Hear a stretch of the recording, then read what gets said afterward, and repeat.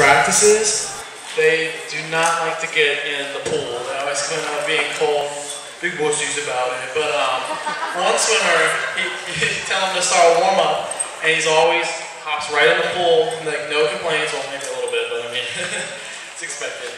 Um, so he's always the first one in the pool, and then after practice, I can't, he's the biggest help. He always helps us, uh, uh, sorry, um, carry the, uh, my words are messing up. Uh, he'll help us, kickboards, kickboards, sorry guys. Uh, he'll help us carry the kickboards back, and I, there have been plenty of times just him and I uh, doing lane lines together, helps me hook up the lane lines. So Riley Harris gets the first in, last out award.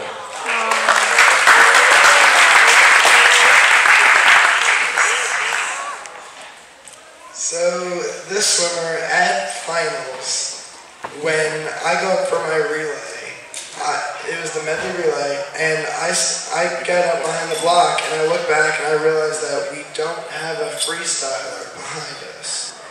So I, we, the relay starts, and the backstroker swims in. I look back, the freestyler's still not there. We I dive in, swim my breaststroke, look back, freestyle, freestyler still not there. Dylan starts swimming his fly, and then all of a sudden I look over and I see this kid running all the way behind the blocks, and he jumps right up, gets his goggles on, dives straight in. So Noah Mandel gets the hero award.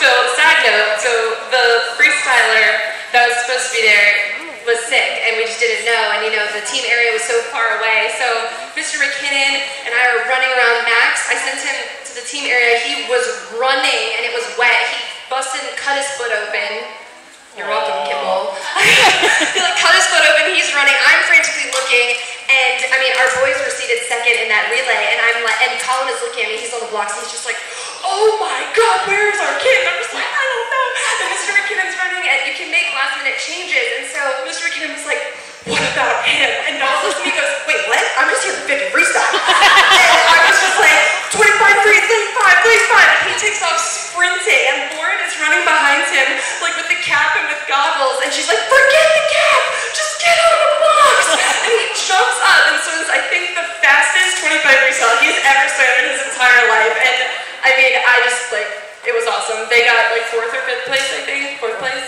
And we couldn't have done it. I mean we were looking at just disqualification and all the people just being like oh good job Salem Fields you can't even get your fourth kid up here. So I mean that didn't do it justice. It was awesome it was perfect timing and um, epic epic hero moment so thank you making us proud talk about being flexible stepping up and taking one for the team all right so I don't think my adrenaline has ever been pumping that fast at a meet in my entire life. Like, it was frantic.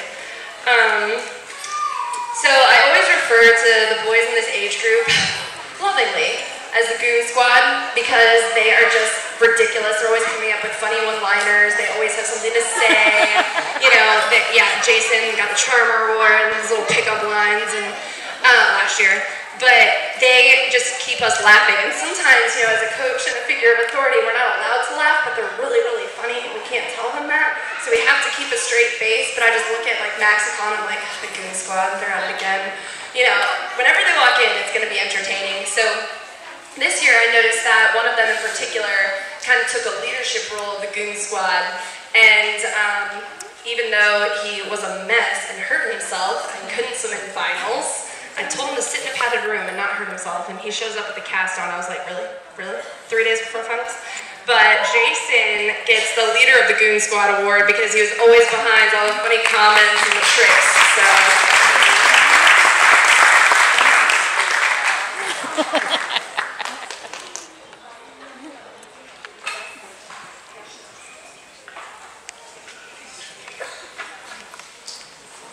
All right, this boy powerful. Okay, like he dived off the block and he get going, and I, he finished so strong. Water flying everywhere. These big strong arms pulling a ton of water. I really can't stress you—just strong when he swam. There's no, no other way to say it. So Chris Jones gets the Powerhouse Award.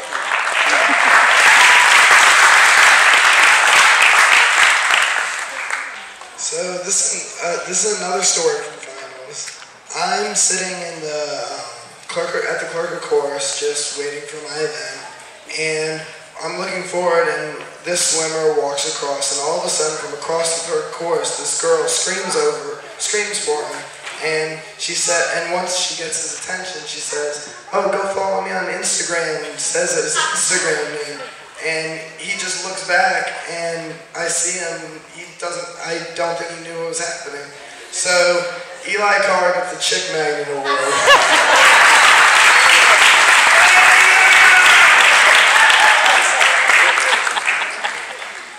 So this guy at Gymology, he was always doing all these crazy flips and just, you know, flipping every second he could.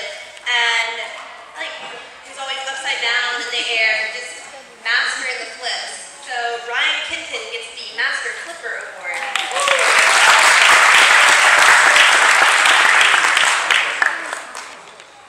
This next boy is a member of the Goon Squad, and um, you've probably heard him throughout the banquet, yeah, and screaming and being ridiculous, but it's always a great thing to have, especially on the pool deck when we're doing our cheers and getting everybody pumped up, and he really stepped up as a leader of the team, but especially in the spirit department, he brings a lot of energy, and a lot of kids really look up to him and um, pay attention to what he has to say and getting everybody excited. So Kimball gets the Heart and Soul of the Sunfish Award. That's what it is, right there. That's what it is.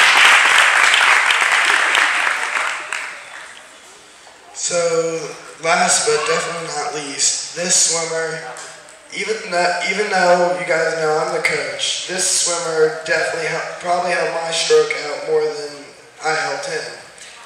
And uh, he always has tips. He always is telling me tips for my swimming. And also, actually, just yesterday, we were both at a swim meet, and I was really, really mad about something that happened because I didn't get something that I was supposed to. And he is behind the box with me and he gives me the speech.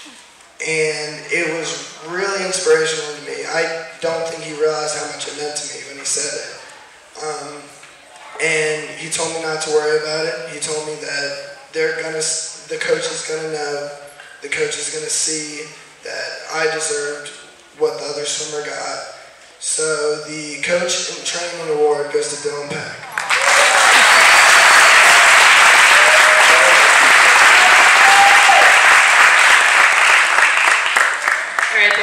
Stand together. Smile. Look at Miss Ognick in the middle, right there.